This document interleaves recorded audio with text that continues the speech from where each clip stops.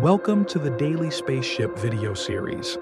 Today, we're taking an in-depth look at the Cosmic Pursuit Interceptor starfighter from the alien planet K2-184b. This alien spaceship is designed for intercepting and neutralizing enemy starships.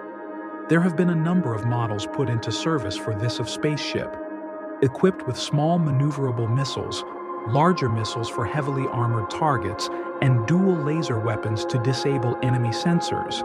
The Cosmic Pursuit is a formidable force in space combat. Its advanced shielding systems protect against enemy fire, while its stealth technology ensures it remains undetected during missions.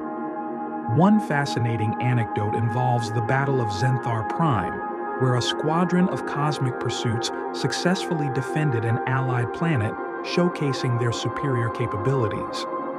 With interstellar cruising capabilities and a mission duration of up to six days, this alien ship is a true marvel of engineering. Join us as we explore the features, history, and technological advancements of this extraordinary starship. For more information on the Cosmic Pursuit Interceptor Starfighter, click the link in the description below.